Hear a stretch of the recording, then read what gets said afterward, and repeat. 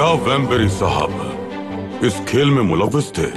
मैं आपको यकीन दिलाता हूँ कि वो इसमें हरगिज मुलविस नहीं थे। अब्दुल हमीद आप लोगों से मेरे बारे में पूछेगा। आप लोग खामोश रहेंगे।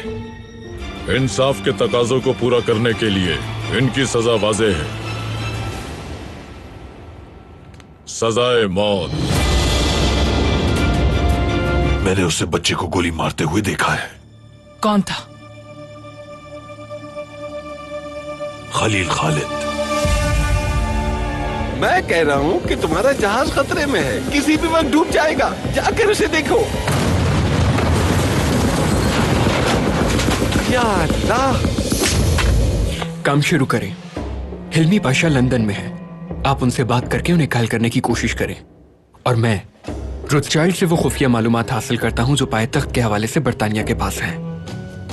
फैसला तुम्हारा होगा रुत चाइल्ड कि तुम्हें शिविनाश चाहिए या फिर दस्तावेजात मैं उससे ऐसी पेशकश करूँगा कि वो खुद तुमसे दस्तबरदार हो जाएगा।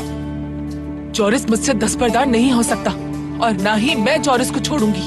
अब्दुल हमीद के साथ हमारे और भी मामलात हैं। अगर हम फरार होने में तुम्हारी मदद करते तो अपना हक खो देते।